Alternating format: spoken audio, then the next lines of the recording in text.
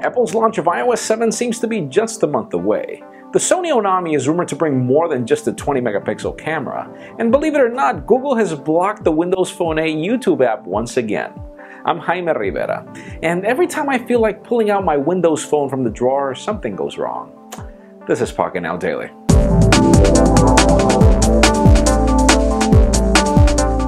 Let's start today off with the official news. Windows Phone 8 GDR2 is an update that a lot of people are waiting for. It brings a lot of added functionality to the platform, and we know that it's being dubbed the Nokia Amber update that came with the Lumia 925 when it was launched. But for the other rest of you that don't have the Lumia 925, this update is now available to almost all of you. Links in the description for the full list of phones that get it, and also for the full list of benefits that you get when you update to Amber or GDR2.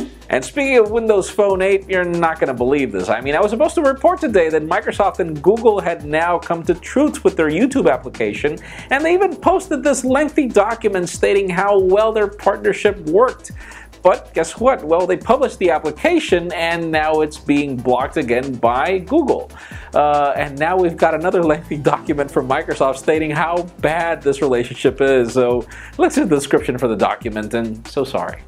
And if you're interested in an HTC One in red in the United States, well, you better be on Sprint as the carrier has now confirmed that it will be an exclusive to the carrier, and they're also going to be selling it in part of their buy one get one free deals, you know, those BOGO deals. So that's actually a good thing if you are on Sprint, obviously. And speaking of that, I mean, if you thought that the Moto X was the only smartphone out there that you could customize, well, actually, HTC was planning on bringing a similar project, and they ditched it for some reason in the past. Links to the description for the full story on what happened and why HTC decided to ditch it. Now let's talk about Sony. We finally get some leaked photographs of the Sony Honami in white, even being compared to the iPhone 5, and yes, this thing is big, but even bigger is the fact that apparently this phone is not only bringing a 20 megapixel camera. If you remember in the past, we were reporting that this phone was supposedly recording video in 4K, and apparently these trusted sources now confirm that it's coming. So imagine 4K video. How big is your SD card going to have to be?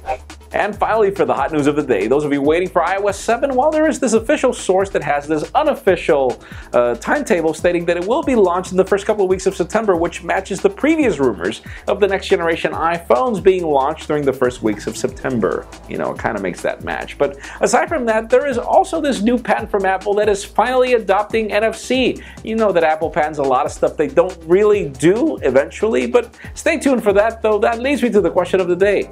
I mean, seriously, it's been a couple of years since NFC is in the market. It's kind of hard to see Apple doing it now. So the question is, do you really use NFC? Do you see it as a worthy feature of your phone? In my particular case, honestly, I rarely ever, if ever, use NFC, and I have TecTiles from Samsung almost everywhere in the house. So leave us a comment down below. Is NFC something you'd be looking forward to in your next smartphone, especially your next iPhone? Friends, as always, you know the drill. If you want earlier news of everything that's happening in the smartphone and tablet world, make sure you follow us on PocketNow.com and subscribe to our YouTube channel as well. You can also follow me on Twitter at Jaime underscore Rivera. Please give this video a thumbs up if you like what you saw. I am Jaime Rivera. Thank you very much for watching. See you tomorrow.